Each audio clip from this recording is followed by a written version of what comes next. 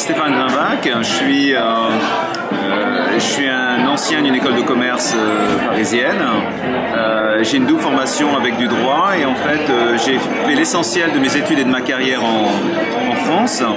Et puis, et puis un jour, pour des raisons, ça a commencé par en fait le fait d'avoir une année d'études en fait aux États-Unis, le fait d'être un petit peu exposé à une façon de, raisonner déjà, puisque le, système éducatif est très différent, qui est beaucoup plus socratique dans son enseignement, avec une participation beaucoup plus active des étudiants qui remettent en question euh, et en cause ce qu'en fait l'enseignant dit pour justement s'engager dans un débat. Ça m'avait déjà ouvert à une certaine euh, différente conception de l'éducation.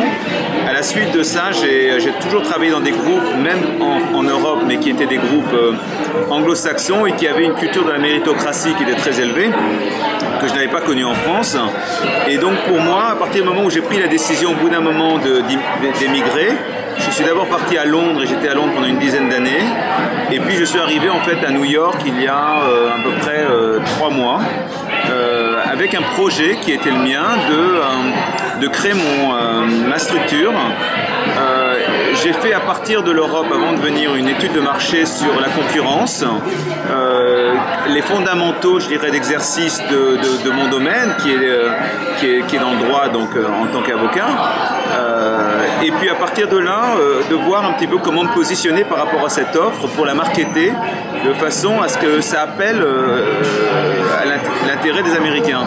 Ce qu'il faut comprendre, c'est qu'aux États-Unis, euh, on est beaucoup moins euh, conditionné par euh, d'où les gens viennent. C'est beaucoup, moins euh, l'origine des gens que leur projet et leur avenir et ce qu'ils souhaitent faire. On donne sa chance à des gens qui, euh, qui n'ont pas euh, forcément fait les meilleures études, à partir du moment où on a été presque bluffé ou qu'on est intéressé par le projet qui est le leur.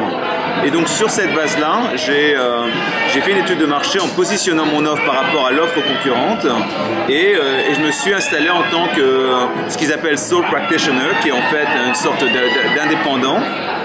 Et, euh, euh, et, ce qui, au-delà, je dirais presque du, principe de, euh, de, la structure et, et, et de l'entrepreneuriat qui est beaucoup plus facile et flexible aux États-Unis, me permet de m'aligner à l'offre locale, euh, qui, est une, qui est un marché d'entrepreneurs euh, et, un marché qui donne sa chance aux gens qui ont des idées. Donc c'est ce que j'ai fait et, et, je dois dire que je suis très très heureux. Je n'ai jamais regardé en arrière de, de, depuis que j'ai fait ça et, et et puis voilà, donc voilà un petit peu mon, mon, mon parcours et ce qui m'a amené ici. Moi, je crois que ce qui est important, euh, alors au-delà du, principe, je pense qu'il y, a un parti pris au niveau des papiers quand on vient aux États-Unis, euh, où on ne peut pas venir sauf à être expatrié, sauf à, être étudiant et ensuite venir pratiquer. Il, y a, des visas qui sont des visas notamment entrepreneurs, euh, les visas H2, qui permettent justement de venir avec un projet professionnel. À partir du moment où on arrive à, montrer qu'on souhaite investir aux États-Unis, qu'on qu fait appel à des investisseurs américains, qu'on a un vrai projet derrière. Euh, les Américains fonctionnent ça. C'est une culture d'immigration, c'est une culture d'idées.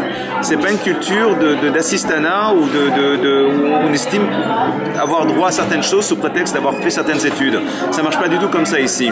Donc le conseil que je donne, c'est déjà de, partir sur la base d'un projet, bien bâtir son projet, faire une étude de marché par rapport à la concurrence locale, euh, essayer de faire appel à tous ces investisseurs et depuis, euh, depuis l'Europe et euh, sur la base de ce projet-là, obtenir un visa entrepreneur et puis vraiment foncer, mais alors sans vraiment venir avec, euh, avec je dirais, le marché tel qu'on le voit en France. C'est-à-dire qu'il faut surtout pas, il faut presque essayer de complètement, il faut essayer de s'extraire du conditionnement qu'on a en, en, étant français et en essayant vraiment de s'aligner sur la demande locale et les fondamentaux qui sont ceux des, des États-Unis et non pas ceux de la France.